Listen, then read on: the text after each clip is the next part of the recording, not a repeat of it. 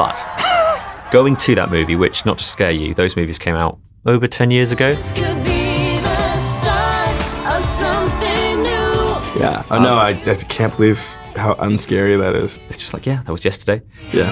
We're breaking free and flying.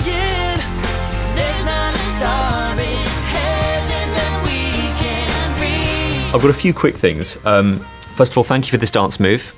I've been using it for a while now. Thank you. We'll spit the Bobby De Niro. Yep. I think that was my attempt at taking a tip from a cool dance move that I saw that was something like that. I didn't know how to dance during those high school musical movies. I was just a kid, like from the street. I was like an actor scraping by in a one bedroom studio apartment and uh, thinking I was going to film school when I took that. Oh, look at all these moments. Yeah, I mean, Yeah, look. Like here, like here, this is, hey, Vanessa's right there. Troy, you're the man! you! Congratulations, Wildcat. Oh, what about your team? We won two.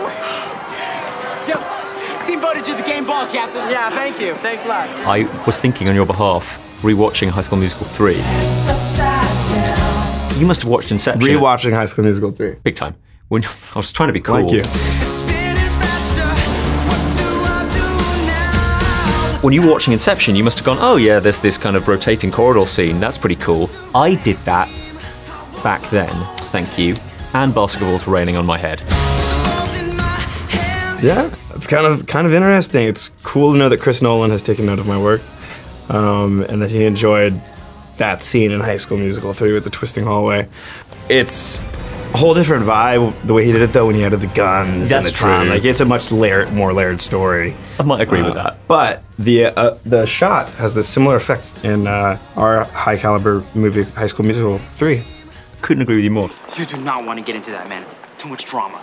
Yeah. Seriously though, looking back to those movies, what do they mean to you? Someday you guys might thank me for this.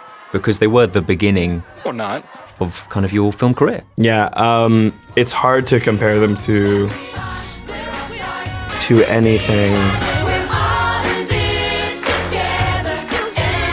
Man, the first time you fall into a rhythm with something where you really can just be yourself and you're immersed with people you love, the cast is incredible. Like this in this picture, that was after one of the most fun. We had we had like maybe a week of rehearsal or less to choreograph five different group dances and several solo dances. But uh, we literally finished this dance without n- any mistakes on a, on a like the third take. That's the way we do it. Let's get to it. Come on, and that was all our budget. We had no money left. I think those movies were like I don't know, a couple thousand bucks, and Yeah. it was we were so happy. We are just friends doing what we love, and I believe that that was what uh, was my affirmation. Yeah. that if it's this much fun and people like it that much, Yeah. they must be providing them some sort of service. God, yes. And um, there will never be another experience like that for me. I'm happy I had it so young. Yeah. I'm so blessed, and I'm sending everybody from High School Musical and all the fans of High School Musical lots of love because they get it. They, get it. They get it. We I know. love- And if, and if you don't, just quit sleeping on it. Jump Yeah. on. It's cool. You know what to do. Yeah. If he saw you dancing like that, he'd put you on the show. See ya. Oh, whoa. Sorry, little darling. Hope I didn't dent your do. Was there a rule with your agent where you said, I need to be in a movie where either I sing or I do basketball? So there's Hairspray and 17 again. I'll accept them. That's fine. Because I remember watching 17 again with my friends who are. And thinking, oh god, music and basketball. No, again. not even. I was going, oh no, he's he's showing off the basketball again. That's. It's just bragging. That's all that is. The thing is, I can't play basketball, so I learned how to do that pinky move Yeah. in the parking lot that morning. And the third reason Stan has a small wiener.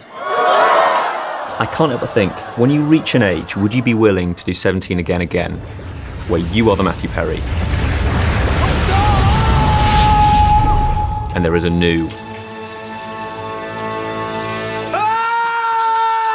We've never discussed or even thought of a movie like that. I would never dream of such things. That would be. You couldn't take that from Matthew. You Yeah. couldn't. Are you kidding me? I definitely had a dream about it.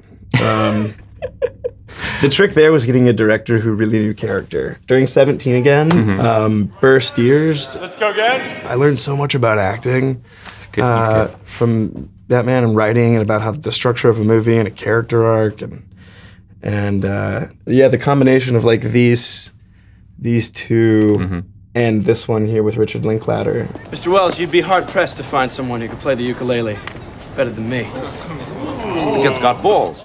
Kind of solidified the fact that I found this profoundly interesting and maybe even perhaps good at it. Yes. I, I didn't know yet. I st- I'm still not sure. um, I want to take one for the team and say, without embarrassing you, you are preposterously talented. And Okay. there are moments when we watch you. preposterously. Thank Yeah, it's you. like, ah, That's, thank you. There's a bit in Baywatch where you're doing the, you know, ninja thing, and I'm just like, he can sing, he can dance, he can literally do ninja stuff. That's like, you know, fine. I'll just go home and do one press up. No, that's fine. I really appreciate the fact that you noticed that. Thank you. Well, that was cute. I got to be honest. It's fun to talk to to guys closer to my age that get it during interviews, or have seen any of my movies. Frankly, there's a lot of people I meet that are our age mm-hmm. have seen High School Musical, or maybe that's the only movie they've seen, and Sure. they definitely don't want to admit it. And you know because they're like kind of staring at you, or they're like like looking, but they don't want to start talking about it like that. So sometimes I just break the ice and be like High School Musical, and then they're like, "Yeah." I was like, "You you saw it?" And they're like, "Yeah." and I'm like, "Hey, nice to meet you." And then after that, everything's great. Everything's cool. Yeah, it's just we had to establish that. Unfortunately, it's I'm not ashamed of that movie. Sure, so you have a way, and you can talk to me about anything.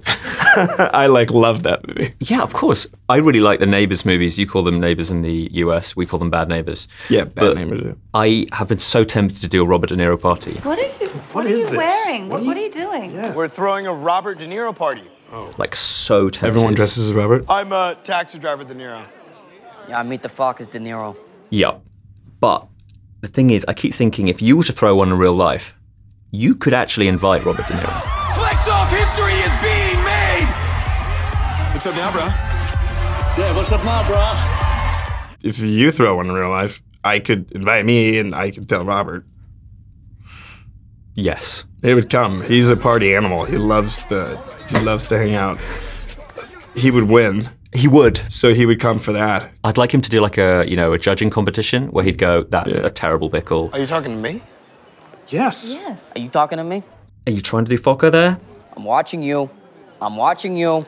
Now, you've worked with some incredible big names over the years, like Hairspray, Edna Turnblad, this is Link. Casually, you got Travolta, you know, Michelle, it's like, whatever, okay, fine. De Niro, we've mentioned. And then you move on to The Rock, yeah, I'll do.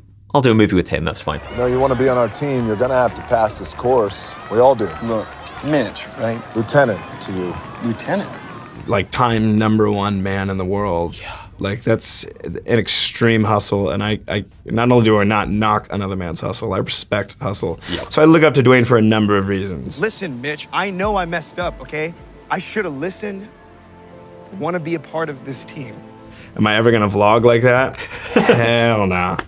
But um, but he can do it because he's like so buff. Sure. He's like, holds up, tells you how it is. Had some tequila, but it's on. It is Wednesday, hump day. It's also known as Wednesday's getting its ass kicked, Thursday's next in line. Like that selfie game.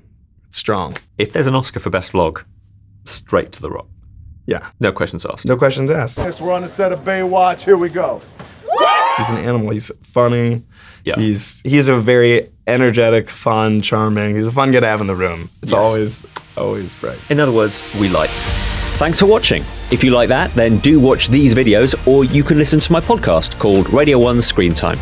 Oh, and do not forget to hit that subscribe button. You can now get more Radio 1 in your life by downloading the BBC Sounds app or the BBC iPlayer app. Search for full length versions of these interviews by typing in movies with Ali Plumb.